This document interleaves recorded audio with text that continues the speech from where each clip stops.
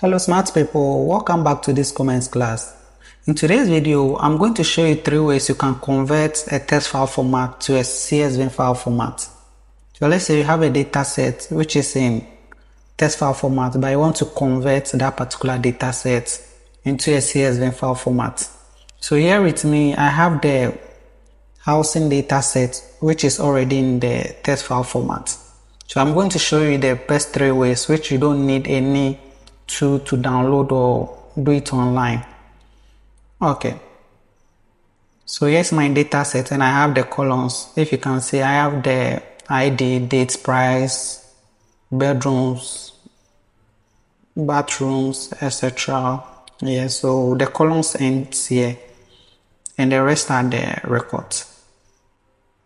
Okay so the first method let's launch our Excel or we should open now Microsoft Excel. Okay. Now let's go to data. When you go to data, you see a lot of tools here. So the first one, let's search for the get data power query and let's click on it. So you see get data power query, launch power query editor, now let's search for from test legacy. That is the last but one item. Okay, now when you click on it, it takes you to the location where you want to get the data. Yeah, I have um, the same data but I've renamed them. So they are they are saved on the desktop. Okay, so let me select the first one and now let me click on the get data. So when I click on the get data this dialog open where it shows you the delimited it already select the delimited for you. Okay so always it should be selected. So if it changes to fixed you need to change to the delimited okay. Now you click on the next. When you click on the next by default the the delimiters we have the tab by default it select the tab for you. We have the semicolon we have the comma. Okay so what the delimiters talks about is the separation. If you look at our test file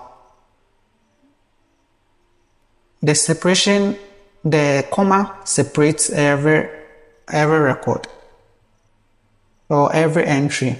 So here, if you see a comma, it means it's one entry, one entry, one entry, one entry, but it's one record. So the entry is um, separated by the comma. Okay. So now let's uncheck the tab and select the comma. So as we know, the comma is the separator and let's click on the next and finish. Now you are showing where you want to import the data to. So we just want to import it in the the A1 sheet or the A1 cell. Let's click on the import. Okay when you click on the import as you can see the text file format how it was arranged, every, every entry and the comma. Now it puts every entry into a cell. So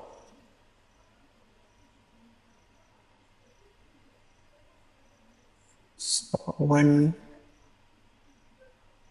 so when we come here for instance, you see the first entry, here is it. Yeah, so that is the ID. We have the date. Yeah, that's Okay, so this is the first method to convert a text file format to a CSV file format. Okay. So let's rename here first first method.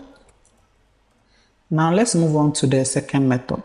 So the second method, I have my records there which is already in the text file format. Now I'll just copy them.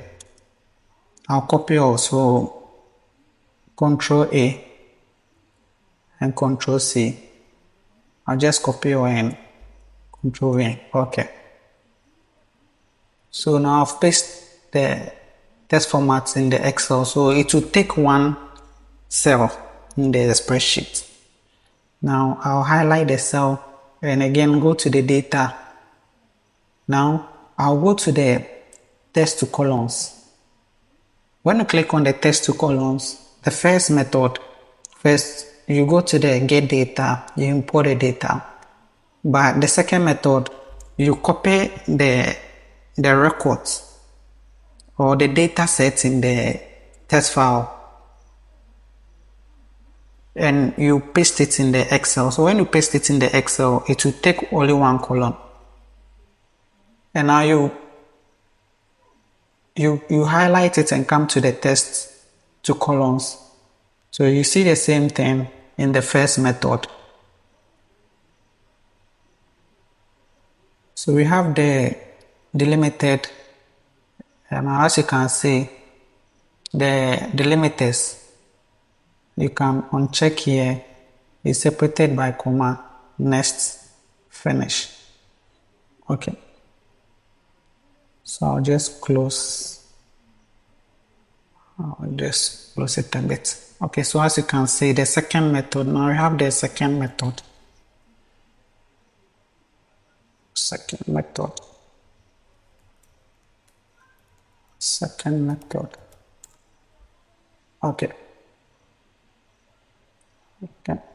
Can say it's the same thing. It's the same thing. So the difference between the first method and the second method is basically the same, but it's up to you when to use the first method or the second method.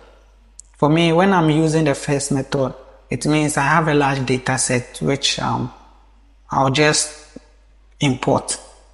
The second method is when my data set is few, it's not that much, like maybe thousand um, records or thousand um, rows I'll use. But if I'm having a huge data set like 10,000 going, then if you do copy and paste, depending on your machine you are using, it might take time or it might even freeze because of the copy and paste.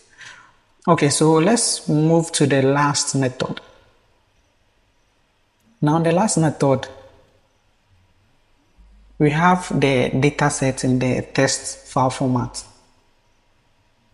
So those of us who are using MacBook, if you open your test file, you see the the name here. So let's say we have the housing sales. I can just change it. So let me change it to sales housing data sets. Data sets. Now I'll just change, sorry, I'll add dot CSV. If I want to differentiate the data set file I have on the desktop, that's why I've changed from housing sales to sales housing data set. Now you just add .csv to the um, file name. Those of us using the Windows 2, when you open your your data set in the in the text file format, you can go to save as and you just add .csv to it. So when you are done, you just click on enter. Now let's go to the desktop and see. Okay. So as you can see, here we had two data sets. If you notice the first one, the two of them were in the text file format. But now one has changed to the text file format to the CSV file. So I can go to open with and I'll open with Excel. It will open. Okay. Oh.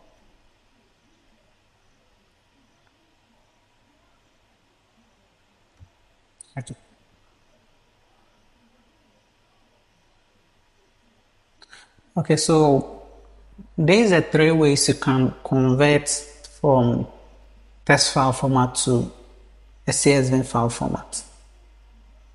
That's all for today. I hope this video is helpful. Thanks for your time. See you in the next video. Peace.